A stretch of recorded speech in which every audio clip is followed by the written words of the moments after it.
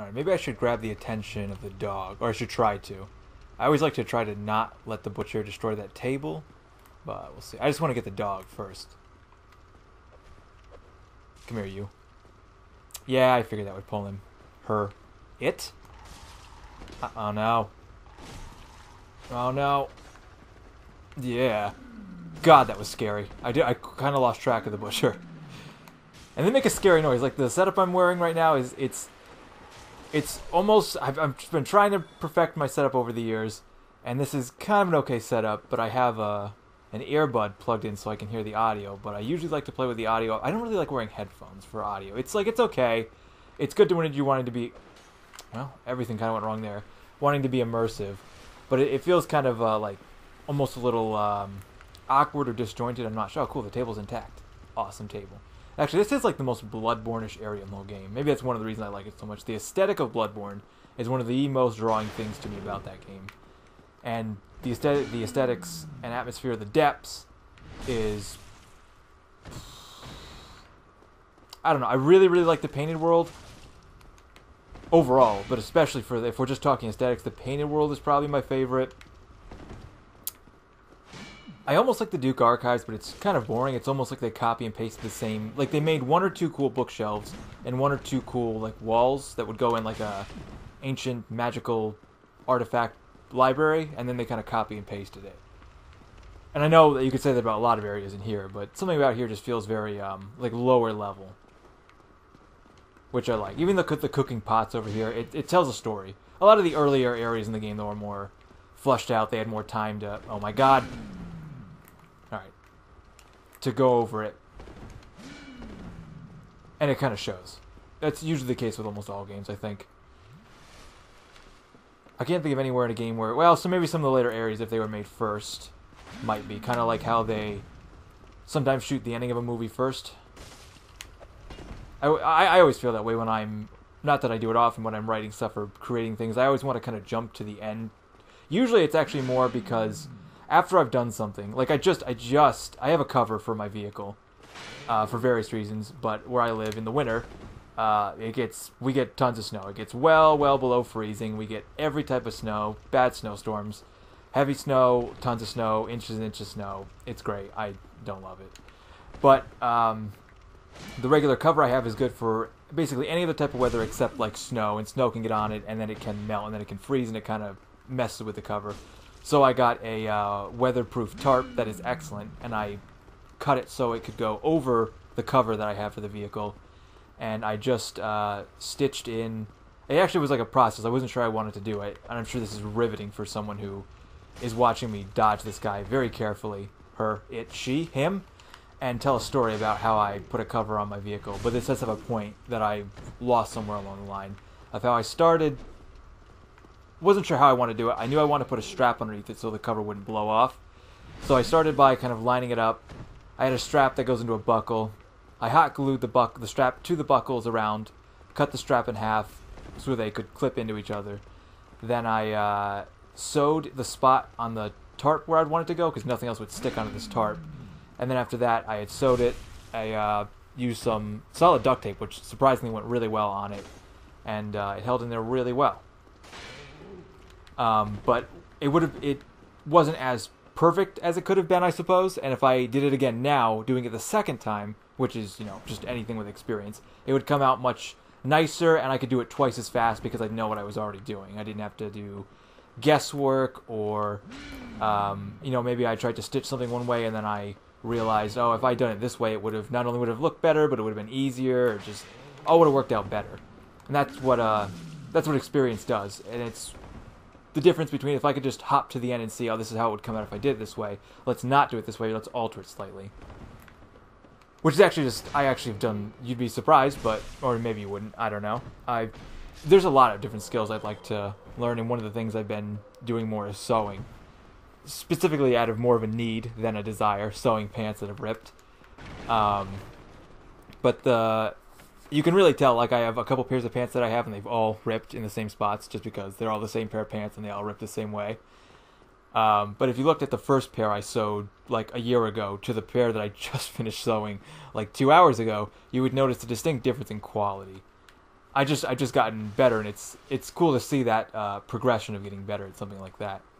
Which could be the said the same about Dark Souls, maybe. Hundred hours of this. What is it? Isn't it like uh, uh, I forget what it is. It's something like I don't even remember. I'm gonna misquote it, but let's just say 200 hours of whatever makes you a, a master at it. That's not the case. Isn't it like a thousand hours? I feel like it's a round number. I can't remember. That's not you know, that's not necessarily true, but I guess the the thought is you could potentially reach um, mastering that skill. What is that? Is that a? Is he usually over there? I was like I was like I thought there were only dogs and stuff and I saw the ghouls standing over there. And I guess those guys aren't ghouls; they're hollows. Because um, ghouls are like one level down in the depths or the Blighttown. I think those guys are actually officially ghouls. Which I'm not even sure what the mythology definition of a ghoul would be. I feel like there's a few definitions of things that people like throw out terms like uh, goblin is one that I think is pretty traverse or especially troll. Like what what makes a an, a creature a troll? Like if I said vampire to someone, well, I guess that's kind of a debatable depending on what you want to call it too. But I think most people could agree a vampire um, one of the root core mythology pieces of a vampire that makes something a creature a vampire is its need or want for blood. Usually a want. Um, or usually a need, I should say. It's usually a necessity. It needs blood for some reason. To survive or to change people or whatever. They usually need blood, typically human blood.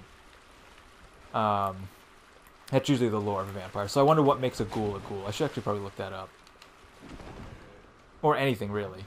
Because I have my own personal definitions, and I'm sure everyone does too, and sometimes they don't always match, especially when we're talking about mythological creatures. It's one thing. Oh, cool! I got humanity. Was that the first humanity I've gotten all game? I feel like it is. Right, as soon as I get to the bonfire, I'll human up. I'd love to do it more often, but I'm until I'm confident I'll die less. Is there an ambush? Okay, I couldn't remember.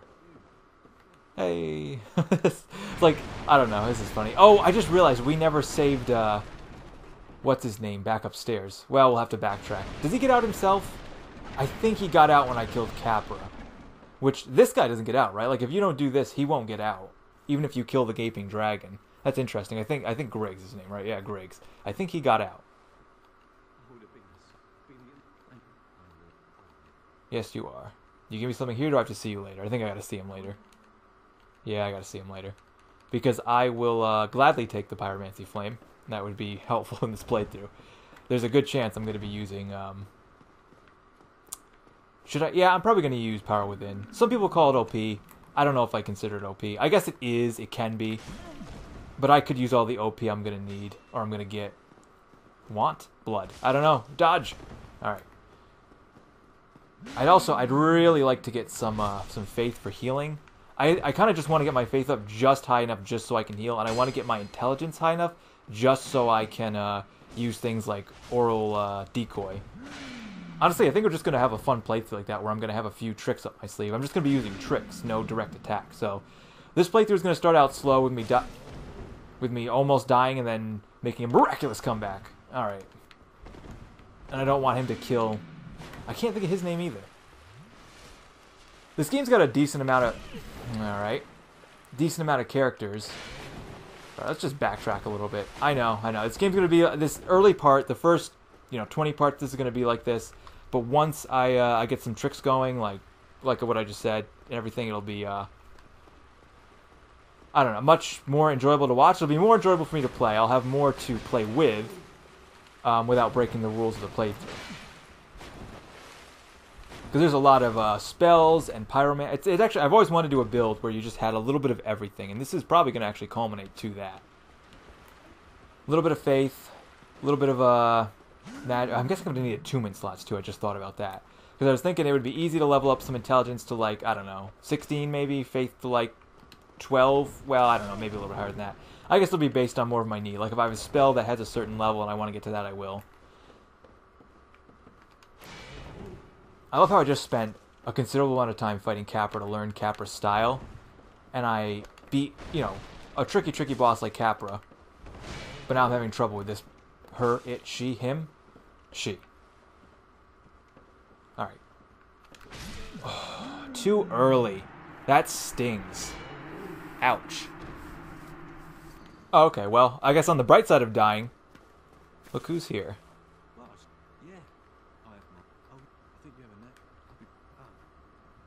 No, I don't. He's always the he's the he's the owl from Ocarina of Time. He's that guy. Which I appreciate. It keeps you on your toes because most players will just hit yes and you're like, "Oh, I messed up." I like that it does do that. Even though it's it's like kind of like uh I hit like on the borderline of douchey, but it's it is uh I do appreciate it. Something I would do. Excellent. Okay. And then I don't have any souls on me. See, I can't use the fire orb, combustion, out of the question, but iron flesh, flash sweat, those would be useful. They aren't really what I want in mind right now. Iron, I don't think that would be good. I can't think of a particular enemy at the moment that that would be really useful. Perfect. All right. Yep. Let's just throw one into faith because I, I totally forgot I actually had an attunement slot already. So I could have done doing this a while. Uh, that actually wouldn't help me against a boss like Capra, really, but it would help me where I'm going right now between the depths and Blighttown. Alright, let's attune that real quick. There we go. Perfect. Okay, well, you can tell I'm already taking full advantage of heal, and I'm going to take full advantage of this, too. Because now that I've already been through this area once, I feel completely justified in using a shortcut like that. I suspect if I was doing that and really being aggressive and cheesing the game and building up a lot of stuff and grinding, I could get through this pretty quick, but I just don't think that'd be any fun. Or maybe it would. What do I know? Alright, you. And the best part about this now that I... Because I completely forgot I had a attunement slot I could be using the whole time. I it's actually really... I really could have been using heal for the last, you know, good good couple hours of gameplay. Really would have been helpful on... Not directly on bosses, but in these situations where I don't need to necessarily use a quick Estus. Yikes. I wasn't ready for that. Talking about quick Estus. I did not think that hollow would jump down.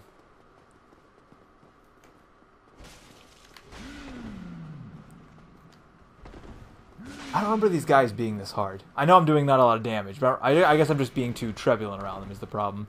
Anytime I'm seeing a new enemy I'm not used to killing in a few hits, it's like, oh, I'll be careful and cautious, and that's quick as you killed. I'm gonna drink this, because I'm not gonna die again. It's not happening.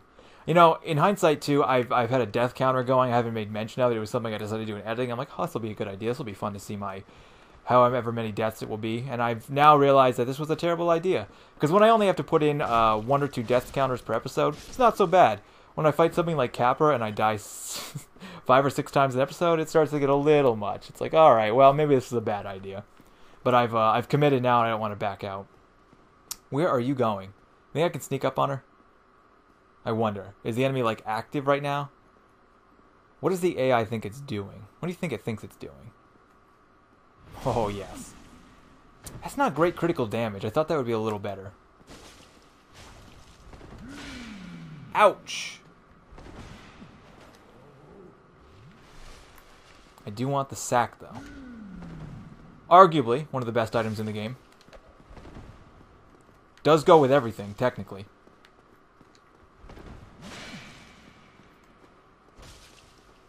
There we go, that's the move I needed.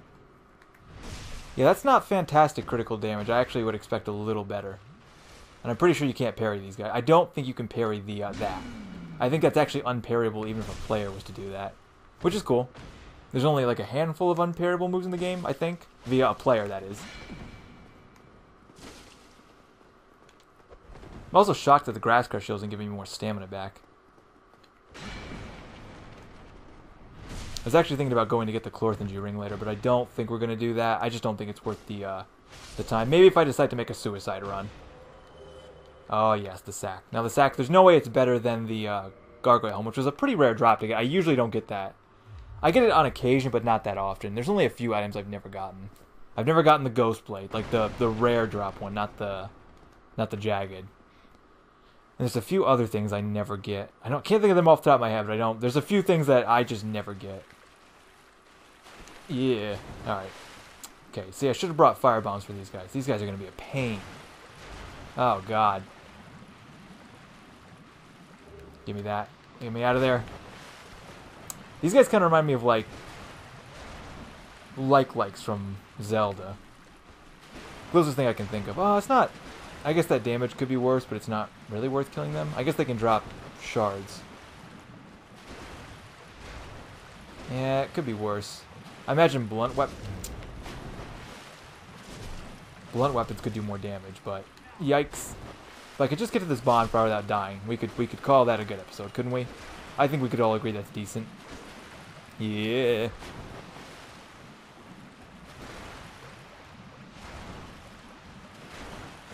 Okay, cool. I could probably unequip that too. Yeah, uh, yeah, we're gonna make it. I probably don't need to heal, probably. Nah, we're good, right? For some reason, I thought the guy was over. I don't know. I'm jumpy. There it is. Oh, and I don't have the key. Oh, I don't have the key. Uh, I know where it is. I remember. I just can't. I just, like, I just thought to myself, I don't have the key. Alright, get off the ceiling. Nope, wrong target.